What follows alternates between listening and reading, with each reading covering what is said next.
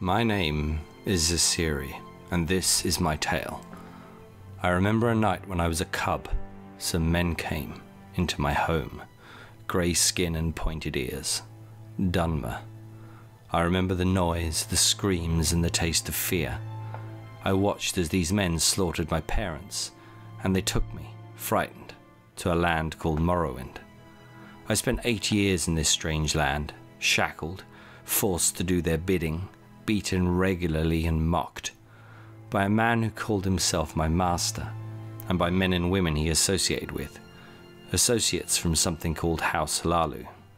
And there is a name, a name etched into the fibers of my being. The name is Orvas Dren. One night, a fateful opportunity led to my escape. I fled across the border into Cyrodiil, but an unfortunate turn of events led to further incarceration. I was cold, desperate, and hungry. I broke into a farmhouse to look for food. Regrettably, I was discovered, and in a moment of blind panic, I lashed out, killing the poor farmer. I ran and ran and ran. But eventually, lost, frightened, and exhausted, I was caught by a patrol, and I was incarcerated in the Imperial City. For seven years, I was again a captive. But I met a man inside that prison and by a cruel twist of ironic fate, that man was a Dunmer. His name was Cedrin Villis. I learned, however, that not all Dunmer are the same. After a time, I discovered that Cedrin was in fact a kind old man who opposed slavery. In time, he became my friend. This Dunmer mentored me and taught me many things for which I will be eternally grateful. He helped me devise a plan, a plan to return to Morrowind the only place I could unburden myself of the hate I carried, to finally find peace. He taught me about patience, about influence, about power. He taught me to control my deep rage without letting go of my desire for justice and retribution. He taught me how to use my enemy's flaws against them, to become one of them, to get them to lower their guard before I strike, destroy them from the inside.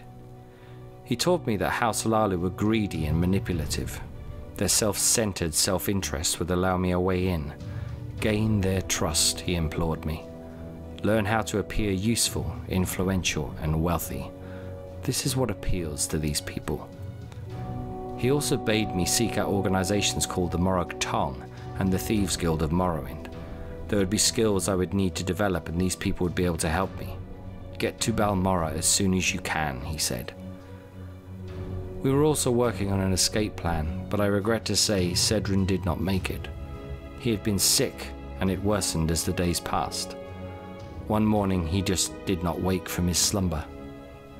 I was devastated and starting to lose hope of escape when something strange and unexplained occurred. The Emperor sanctioned my early release for reasons unbeknownst to me. Something about an errand in Morrowind. An errand, I hasten to add, that I have no intention of carrying out. I will gladly take passage aboard the ship to my destination, but once I have my freedom, that is where my cooperation ends.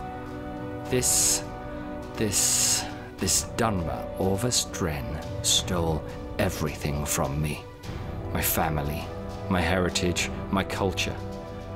It is with great sadness and a heavy heart that I admit I do not know what it means to be a Khajiit. I do not even sound like a Khajiit, having been ripped from my culture and upbringing. I do not know who I am, other than an arrow flying through time towards the names of Hlaalu and Dren. I have returned to Morrowind for one reason, and one reason only.